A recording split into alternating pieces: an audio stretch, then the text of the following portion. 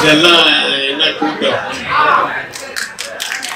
ஆக்சுவலாக நான் வந்து எங்கள் எயிட்டி செவனில் எனக்கு மேரேஜ் ஆகிட்டு எனக்கு ஒய்ஃப் வந்து திருவண்ணாமலை.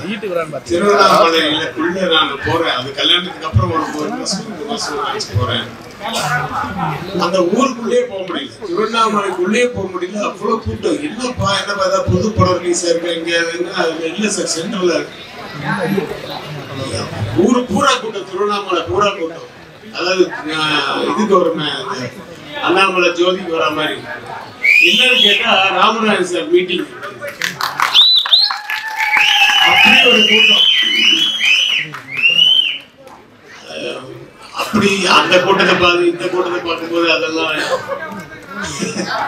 அதெல்லாம் மறக்கல. சூப்பர் ஸ்டார் ரஜினி சார் வந்து சொன்னார் ஐயோ நான் பயந்துட்டேன் சார் அவருக்கு அவருக்கு அவருக்கு இருந்த மாசம் அந்த ஓப்பனிங்ல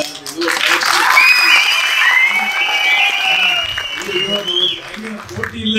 முன்னாடி போயிட்டு இருக்காரு அப்படின்னு ரொம்ப பயந்துட்டேன் நான். இந்த மாதிரி ஒரு- அஹ் உண்மையாவே மக்கள் நாயகன் வந்து அசிஸ்டன்ட் டைரக்டர் காலத்துல இருந்து நான் ரெகுலரா ஒரு பாஸ்கர் எடிட்டர் அவருடைய டீம் ஒரு பெரிய டீம் இருக்கும். அவருடைய பசங்க எடிட்டர்ஸ் அவருக்கு அசிஸ்டன்ஸ் எல்லாம் எடிட்டர்ஸ் இந்த மாதிரி ஒரு பெரிய டீம் உள்ள வந்து பாஸ்கர் எடிட்டர் பாஸ்கர். அங்கதான் பாரதி ராஜா சார் கே ரங்கராஜ் ராம அப்படி எல்லாம் வரும்போது சார் வருவார். ஆஹ் ராமநாதன் சார் அசிஸ்டண்டா இருந்து அசோசியேட்டா இருந்து இவரு டைரக்ட் பண்ணி இருந்து எல்லாமே அவர் பார்த்துட்டு இருக்கு அதுக்கப்புறமா துடி துடிப்பா அப்படி இருப்பாரு. அவர் இளைஞர்லாம் வந்து அவங்க அசிஸ்டன்ட் டைரக்டர் தான் டேரக்டர் தான் எல்லா வேலையும் எடுத்து போட்டு செய்வாரு. அதுக்கப்புறமா அதே மாதிரி ஒரு பொண்ணை லவ் பண்ணாரு தூக்கிட்டு போய் மேரேஜ் பண்ணாரு. பெரிய பிரச்சனை அவங்க வீட்டுல எல்லாத்தையும் மீறி தூக்கிட்டு போய் கல்யாணம் பண்ணாரு. அந்த மாதிரி அப்படி எல்லாம் நான் பார்த்தேன் அவரை. நான் வந்து ஒரு பத்து வருஷம் நைன்டீன் எயிட்டி ஒன்ல இருந்து நான் அசிஸ்டன்ட் டைரக்டர் ஒர்க் பண்றேன். ஆக்சுவலா எயிட்டி நைன்ல வரைக்கும் நான் எந்த படம் ஒர்க் பண்ணாலும் அந்த படம் வந்து ஒன்று ரிலீஸ் ஆகாது. இல்லை ரிலீஸ் ஆச்சுன்னா ஓடாது.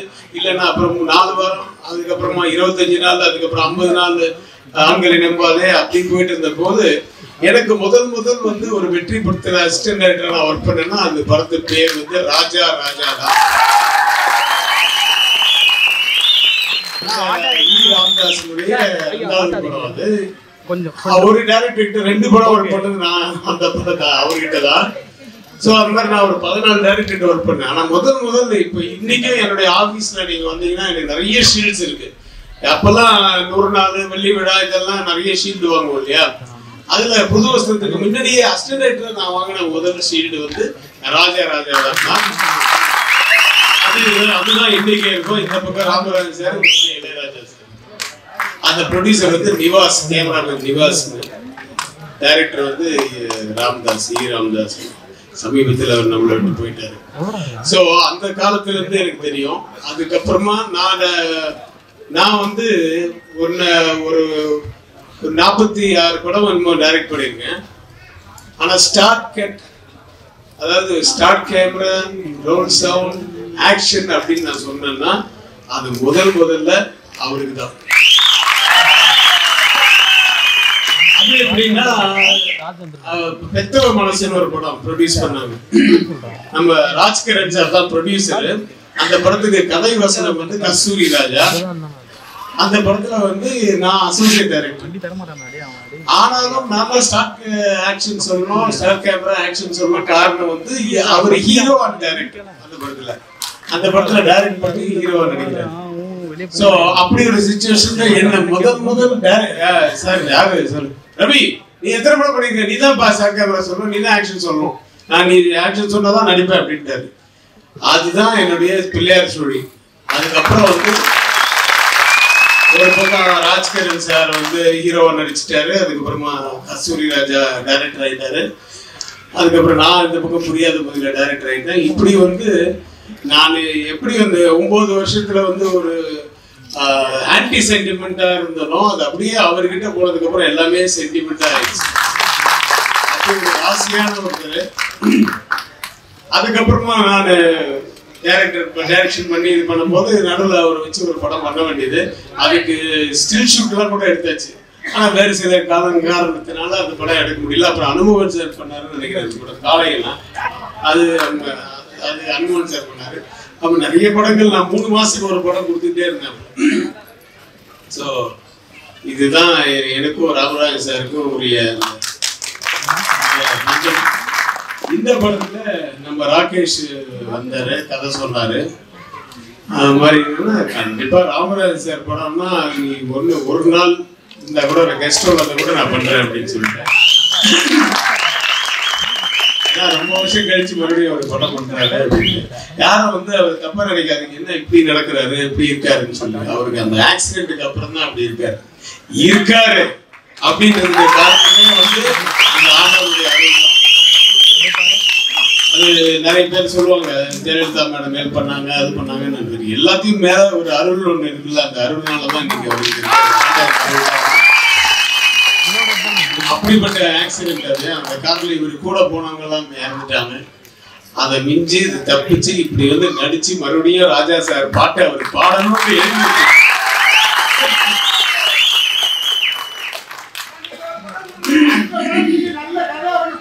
நீ ப்ரொடியூஸ் பண்ணிடுங்க நான் கொடுத்துறேன்.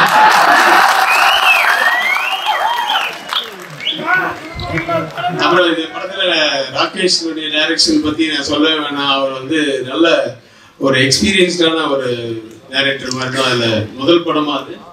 மூணாவது படம். பட் அதெல்லாம் நல்ல எக்ஸ்பீரியன்ஸ்டான ஒரு டேரக்டர் எப்படி வேலை வாங்குவாங்களோ அப்படிதான் அப்படிதான் இப்போ கூட வேலை வாங்க ராமராஜ் சார் ராமராஜ் சார் வந்து புடிவாதமா இல்ல ரவிக்குமார் பேசுறதுக்கு முன்னாடி நான் பேசணும்.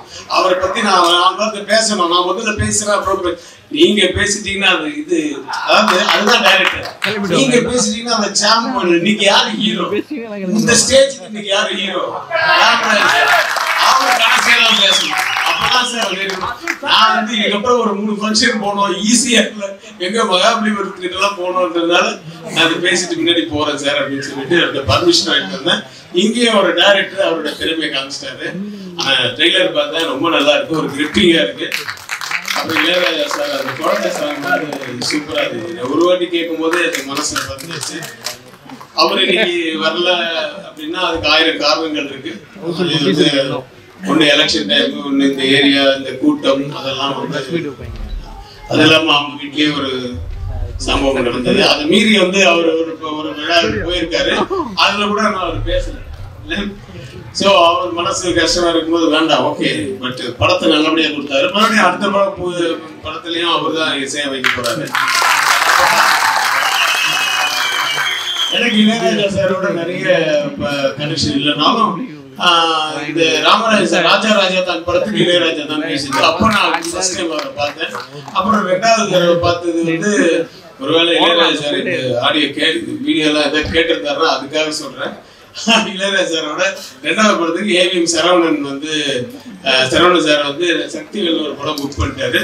கம்போசிங் போய் உட்காடுறோம் அதுக்கு முன்னாடி தான் புருஷ லட்சம்னு ஒரு படம் ஓடி இருக்கு அதுல வந்து பாத்தீங்கன்னா அந்த அம்மன் சாருக்கு பெரிய ஹிட் அதனாலே அந்த மாதிரி ஒண்ணு வேணும் மாதிரி சுச்சுவேஷன் வேணும் சரவணன் சார் அவங்க ப்ரெசஸ் எல்லாம் சொன்னதுனால சரின்னு சொல்லிட்டு போய் கம்போசிங் உட்காந்தோம் உட்கார்ந்த உடனே அவரு என்ன சுச்சுவேஷன் சுச்சுவேஷன் சொன்னேன் எந்த மாதிரி டைப்ல வேணுன்றீங்க? அப்படின்ன உடனே நான் இப்போ ஒரு வீழியம்மா ராஜகாரியம்மா பாளையத்தா எம்மா வங்காரம் ஐயம்மன்.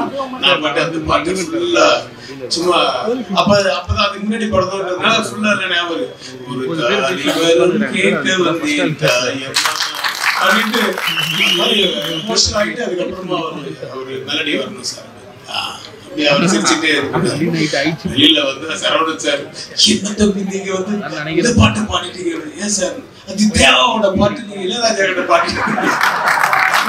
அவர் சார் அவர் சிரிச்சுதான் சார் கேட்டுட்டு இருந்தாரு இல்லப்பா நீ வந்து இளையராஜா சார் பாட்டே சொல்லிக்கணும் எல்லாம் ஹிந்தி பழைய மியூசிக் பரவாயில்ல.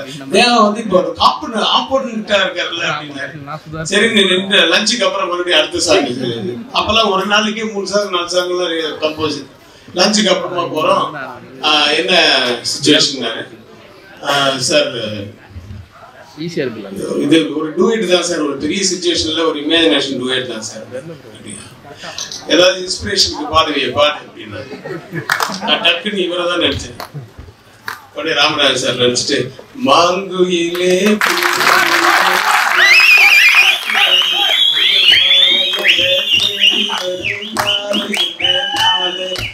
அப்படின்ட்டு இது சொல்லி பாட்டு ஏன்னா அவர் போட்ட பாட்டாச்சே அப்படியே சந்தோஷம் சார் சாருக்கு உடனே இம்மீடியட்டா அந்த ரிதத்துக்கு ஏற்ற மாதிரி அவர் வந்து ஆர்மணியத்துல மல்லிகை மட்டு அதன்னு சொல்லி உடனே கொடுத்தாரு அந்த டியூன் அந்த மல்லிகை மட்டு சாங் பெரிய ஹிட் இன்னைக்கும் போயிட்டு ஸோ இதுல ஸோ என் வாழ்க்கையில நடக்கிற அந்தந்த சம்பவங்கள் எல்லாமே நடுவில் நடுவில் ஒருத்தர் உருவாக்காரு ராமர். ராமராஜ் ஸோ மறக்க முடியாத ஒரு நண்பர். ஒரு நபர் அதுக்கப்புறம் நண்பர் இப்போ. என்னுடைய இயக்குனர். எல்லாத்தையும் மீறி என்ன இன்னைக்கு வந்து இந்த அப்புறம் ப்ரொடியூசர் மதி வெரி குட் ஏன்னா ஒரு மாதிரி ஹிந்தி ஸ்டைல்ல இருக்காரு அப்படின்னா அப்புறம் ஹிந்தி அவரோட ஃப்ரெண்ட்ஸ் எல்லாம் கூட இல்ல ஹிந்தி தான் பேசிட்டு அவர் வந்து ராமராஜன் சாருடைய ஃபேன் சரி ஓ நல்லா அடிச்சு ஏசி போடல இது கொடுத்து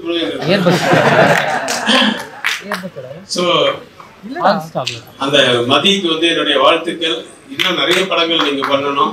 ராமராஜன் சார் வச்சும் பண்ணணும். ராகேஷ் வச்சும் பண்ணணும். அப்படின்னு கூறி இதுல நடிச்ச அத்தனை பேரும் இதுல பார்த்த அந்த ரெண்டு மூணு இந்த MS Bhaskar MS Bhaskar and Radharavi sir. ரெண்டு பேருமே ஈக்குவலா ஒரு எவ்வளவு ஒரு சஸ்பென்ஸ் இருக்கு பாருங்க. அது. நல்லா தெரியுது அதான். ஒரு ஃபேமிலியா அவங்க ஏதோ இருந்திருக்காங்க. அதுக்கப்புறமா வந்து ஒரு பிரச்சனையா இருக்கு அதுக்கப்புறமா வந்து ஒரு பேங்கே கடத்துறாங்க? போச்சு. என்ன போச்சு? நீ தான் ட்ரெய்லர்ல சொல்லிட்டிய. இது கூட புரியாத ஆனா எப்படி எதை கடத்துனாங்க? சமாளிச்சாங்க? எதுக்கு நான் உள்ள வந்தேன்? நான் அவரை பிடிச்சனா இல்லையா? இதெல்லாம் எவ்வளவு இருக்கு விஷயங்கள். பாட்டு எல்லாம் இருக்குல்ல. அதனால எல்லாருக்கும் தெரியும் இந்த ட்ரெய்லர் தெரியுதுல்ல சரி ரொம்ப நேரம் நான் பேசினா அடிப்போங்க. ஏன்னா எத்தனை பேர் இருக்காங்க நன்றி வணக்கம். All the best